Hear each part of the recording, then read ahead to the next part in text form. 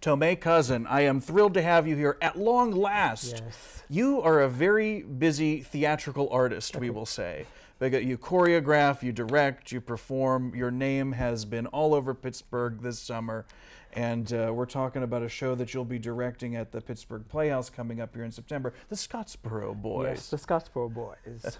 um, not your typical musical, I would say, but a um, very important one for the times we're having right now.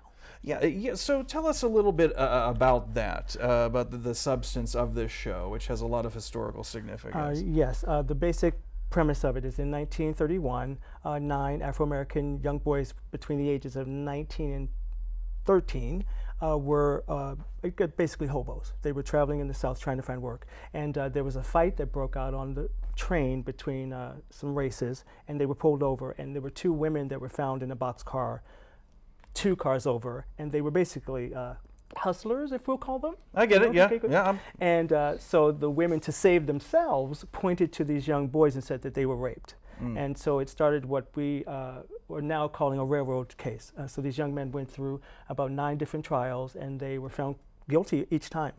And uh, so it basically is the, the start of the civil rights movement underneath it. Yeah. And uh, many characters come from it. Uh, so it's a musical, though. Right, and told through a Kander and Ebb musical, Yes, and, yes. and most people might be familiar with them through things like Cabaret Yeah, and Chicago, Chicago. and So, like so how do Kander and Ebb tell this very sensitive story? Well, the, the same way, uh, we like uh, Chicago, you know, it Uh-huh. has, uh, has a little bit of irony and bite inside of it. uh, Yeah. and so they found a way to give it some razzle and dazzle without making it too um, um, over the top. Right. So it still keeps a little bit of the, the seriousness in it, but it does have a great deal of fun in it. And it's done through the, the, the premise of a minstrel show. Uh, so the, the young men are performing their own story as opposed to it happening in real time. Right. Uh, yeah.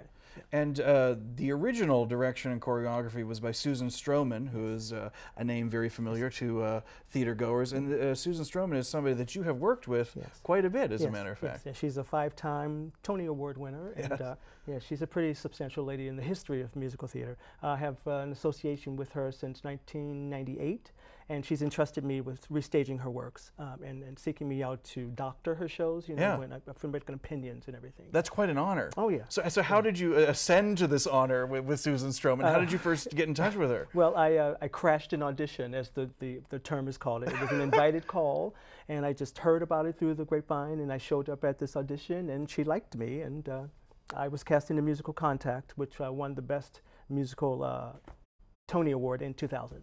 And, Wow. and, and uh, because I did my job, you know, I was always there. I learned the choreography, I learned the direction, and I had training from Point Park, being a director and being a choreographer. She saw that, and she just wished the willed her works onto me. So is crashing an audition something you would recommend to young aspiring performer? I, I, I would say yes.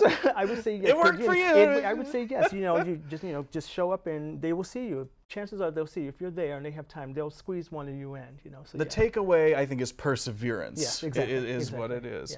yeah. Uh, so, Ed, you have, a, as I said earlier, an illustrious career both in choreography and direction. So, you know, what do you feel that you specifically are bringing to this production of Scottsboro Boys? And with respect to Susan Stroman, uh, yeah. what, what's your unique Um, I, this? I, I tend to be like a theater history geek, uh, Mhm. if you will, and I love research. You know, so what I did is I invest, invested a lot of research into this particular work when it was first being put together. So I knew all of that, but uh, my take is that I um, I have a social conscience that I'm really making a stance with this work. So it's very unique. My interpretation of it, I'll be the first Afro American person directing the work. So I think that is in itself a big stance with it. No, and i always relevant. I mean, unfortunately, very relevant Mhm. today. Yeah. Uh, so I think it'd be difficult to see a piece like this without, you know, current events in mind. I imagine it might be tricky to direct it Yeah, without those yeah, in mind too. exactly. Is, is there anything currently influencing uh, this process from the outside? Yes, the uh, climate that we're going through right now politically, you know, with our president and the recent events that just happened in Charlottesville. I mean, Right. there- there's a lot of that going on. There's also a, a lot of the immigrant uh, and um, just just the legal system, you know, police issues. There's a lot of commentary that's going on in there inside the work. But again, it's done through a very respectful and um, fun uh, at times, often fun. And there's an interesting footnote to the story of the Scottsboro Boys, which uh, developed a little more recently in history. That's not necessarily included in the in the musical. Am I correct about this?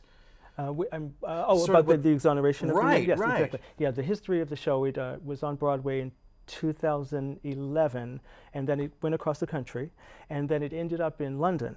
And through the, the success of it there on the West End, the case was reopened here in the United States, and all nine young men were finally exonerated in 2015. That's so from amazing. 1931 to 19, you know, 2015, that's a great, great deal of time. And, and really, it's due to the, the show, The show. really, that show. reignited the interest Yeah. in that, that led to their eventual exoneration. Exactly. That's amazing that Yeah. art has the power Art, to yes, influence yes, yes, history exactly, like that. So please put that in your director's notes. yeah. I hope there's going to be something in the program about that because that is an incredible story. I mean, there could be a play about that. About that, exactly.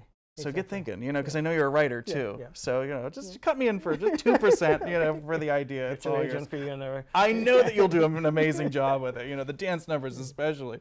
But you know, in this current climate, what is what do you hope above all that audiences will take away from this piece? that, that they should be aware be aware of what's going on and and, uh, and find and do the research and reading for yourself you know so you really can make a decision for yourself a, gr- a great deal came from this particular case uh, the character of Rosa Parks is, is also prom- uh, prominent in the work, and she herself, in reality, went to a Scottsboro Boys rally supporting them to deliver a cake, and to, and she has a cake, and we have that in the play.